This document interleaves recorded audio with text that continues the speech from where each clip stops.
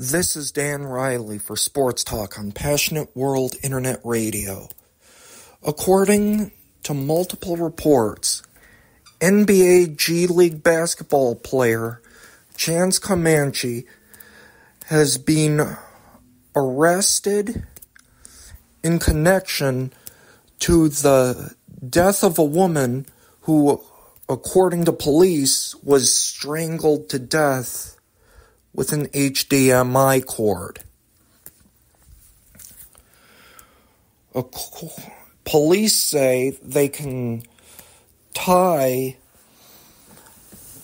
Comanche to the death through his Twitter account as well as other evidence.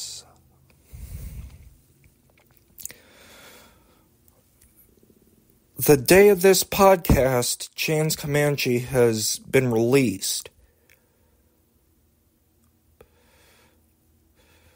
Police accuse the basketball player of planning the murder of this woman at the end of November and allegedly acted on their plot when Chance Comanche's team played in Las Vegas.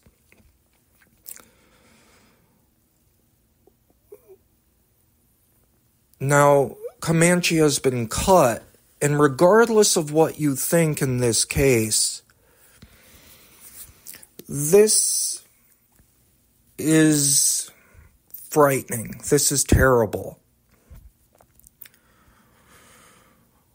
We've all heard stories of athletes doing terrible things. But this story is an example of how we can no longer afford to simply assume athletes should be setting examples for our kids.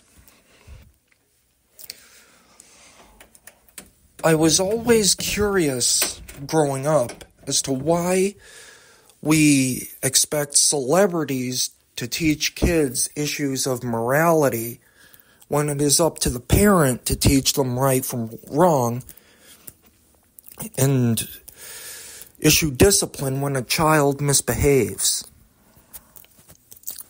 If anything, this story should put an end to the debate whether athletes deserve the responsibility of showing our kids good ethical behavior. Regardless of Chance Comanche's innocence or not, expecting someone fresh out of college with a ton of money to show your kids good ethical decisions may not be the smart course of action going forward, I hope that we all start using athletes' terrible behavior and screw ups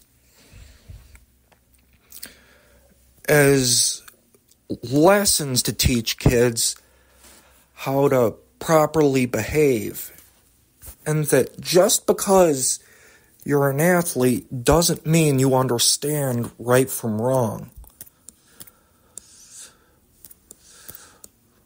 Whether or not Chance Comanche is involved in this murder, one thing's for sure pro basketball has egg on its face.